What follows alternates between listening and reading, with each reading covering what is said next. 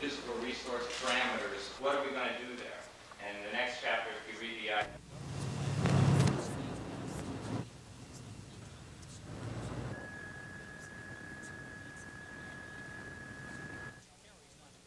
Maintain a thorough cyanide carousel site. There's a number of positive impacts that we identified having to do uh, essentially with job creation, uh, tax, remo- uh, tax revenues,